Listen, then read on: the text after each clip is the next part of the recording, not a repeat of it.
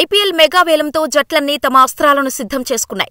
వచ్చే ఏడాది మార్చి నుంచి మే వరకు IPL twenty twenty five season జరగనుంది. అయితే కొన్ని జట్లకు కెప్టెన్సీ సమస్య ఉంది. అందులో రాయల్ ఛాలెంజర్స్ బెంగళూరు ఒకటి.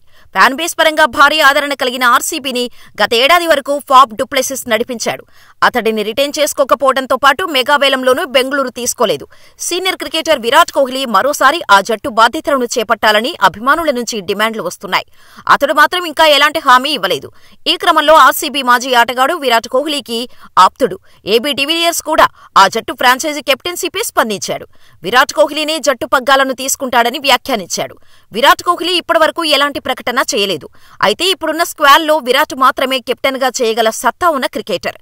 ఐపీఎల్ మెగావేలంలో ఆర్సీబీ మంచి జట్టునే తీసుకుంది. కానీ స్పిన్ విభాగంలోని ఆర్సీబీ కాస్త వెనకబడినట్టు అనిపించింది. అయినప్పటికీ ఆర్సీబీ స్క్వాడ్ బ్యాలెన్స్డ్ గానే ఉంది. చిన్నస్వామి స్టేడియంలో రాణించేందుకు ప్రతి ఆటగాడు శ్రమించాలి. ఇక ఆర్సీబీకి సరైన స్పిన్నర్ లేని లోటు తీరాలంటే ఐపీఎల్ కమిటీ ట్రాన్స్ఫర్ విండోను తెరవాలి. భవిష్యత్తులోనైనా ఈ రూల్ తీసుకొస్తుందని భావిస్తున్నా అని ఈ ఆర్సీబీ మాజీ ప్లేయర్ వ్యాఖ్యానించాడు.